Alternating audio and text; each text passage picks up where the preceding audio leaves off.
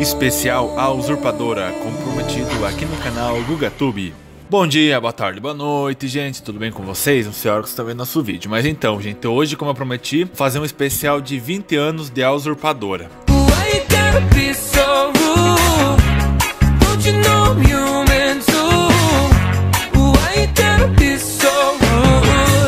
Há 20 anos, a telenovela A Usurpadora estreou dublada às pressas e virou um clássico no SBT. Em 22 de junho de 1999, há exatos 20 anos, estreava no SBT a telenovela A Usurpadora, para substituir Pérola Negra, sucesso daquela época que tinha Patrícia de Sabrit e Dalton Vig nos papéis principais. A Usurpadora foi produzida em 98 pela Televisa e até então exibida em mais de 20 países, o que rendeu a Gabriela Spanik um gordo contrato de 3 anos com a rede mexicana Televisa, após interpretar as gêmeas Paola e Paulina. Em Los Angeles, o primeiro capítulo foi acompanhado por 51 mil domicílios, superando a audiência de programas consagrados como a comédia Everybody Loves Raymond, da CBS, também tirou de Acapulco Coelho Yarma, de 95, o posto da novela mais vista da emissora, segundo noticiou o jornal O Estado de São Paulo na ocasião. A novela fez com que Hispanic fosse apontada como sucessora de Thalia, e isso chamou a atenção de Silvio Santos, que ordenou a dublagem dos capítulos às pressas para substituir a novela Pérola Negra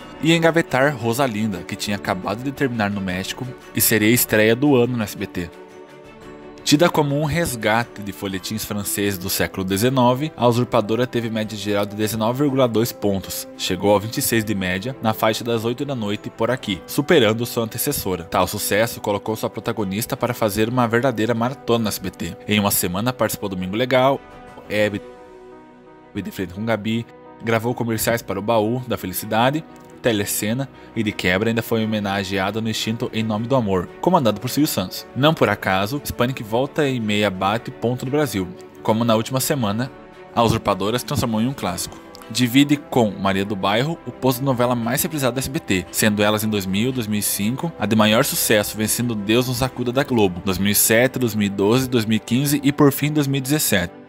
A trama da novela conta a saga de Paulina, uma moça pobre que trabalha em um clube de luxo e mora com sua mãe Paula, numa choupana em Cancún. No trabalho, conhece sua sósia, Paola, que mais tarde descobriria vir a ser sua irmã gêmea. Paola lhe oferece uma quantia para trocarem de identidade por um ano, enquanto ela curte a vida. Paulina aceita e assume o lugar da irmã na mansão da família Bracho e acaba se apaixonando por Carlos Daniel, interpretado por Fernando Colunga, e se apegando a seus filhos, Carlinhos e Lisette. A novela ganhou uma continuação, intitulada O Além da Usurpadora, Mais Allá de la Usurpadora, que mostra as vidas dos personagens um ano depois de seu desfecho. Com apenas dois capítulos, a continuação teve transmissão no CBT em três oportunidades: 2000, 2013, aqui dividido em três partes, e 2015. Então, gente, agora vamos ver por onde andam os participantes, ou seja, o elenco da telenovela A Usurpadora.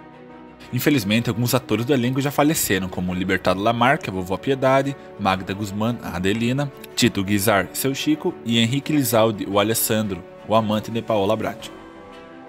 A protagonista da trama, que interpretou as gêmeas Paulina Martins e Paola Bratti, continuou atuando. Faz algumas novelas no México, como A Intrusa e A Dona, e atuou no teatro.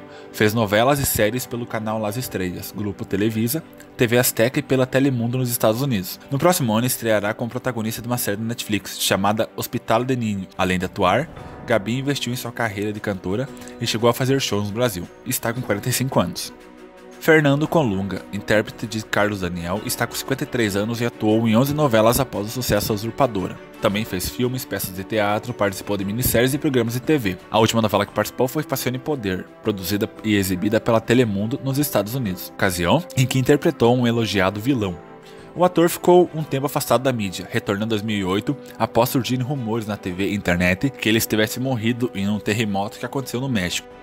Quer saber mais sobre Fernando Colunga? Então veja aqui na descrição do vídeo um link do vídeo Por Onde Anda Fernando Colunga. Chantal Anderi, a irmã de Carlos Daniel Stephanie, foi interpretada por Chantal Anderi, que fez vários trabalhos na TV após o sucesso de A Usurpadora, como Sortilégio, Amor Real, A Intrusa e Bem Amado. Atualmente, a atriz grava a trama Rompendo el Silêncio, que estreia em outubro no México. Também participou de cinco séries e está com 47 anos. Juan Pablo Gamboa, o cunhado chato de Carlos Daniel, que vivia na casa dos Brátios e adorava humilhar a esposa Stephanie. Está com 52 anos e participou de várias novelas no México, Estados Unidos, Venezuela e Colômbia, desde que a usurpadora chegou ao fim. Nos Estados Unidos, foi um dos criminosos fora de qualquer suspeita de Reina de Corazones. Também conseguiu alguns papéis no cinema norte-americano, como Sniper, The Ultimate Kill e Gallows Hill. Dominica Paleta. A atriz interpretou a bela e irritante Leda, prima de Carlos Daniel, e que não cansava de se insinuar para ele, principalmente por gostar de irritar e disputar o lugar da Paula Bracho. Está com 46 anos e fez três novelas após a usurpadora, sendo algumas delas Triunfo do Amor, Amanhã é para Sempre e A Intrusa.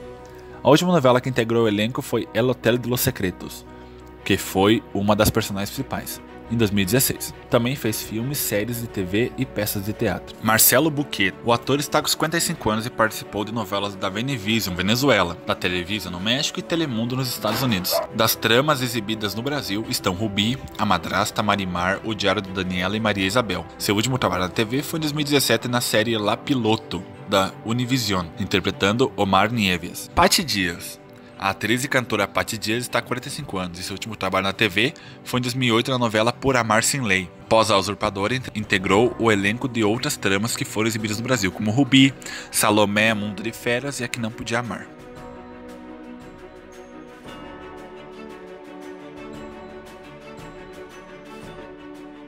A Santa Paulina não vai cuidar dele? Não, deixa de ser chata, Piedade. Vagabunda, traidora, maldita! Por exemplo, cachorrinha.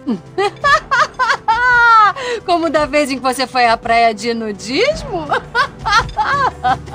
Recentemente esteve no programa da Maísa, nas tardes de sábado do SBT. A eterna Paola falou o que acha de sua dublagem no Brasil.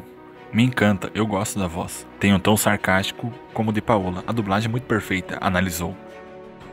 Ainda no programa, relembraram bordões memoráveis da vilã e a primeira vez que a atriz veio ao Brasil, que foi ao participar do programa Silvio Santos em Nome do Amor.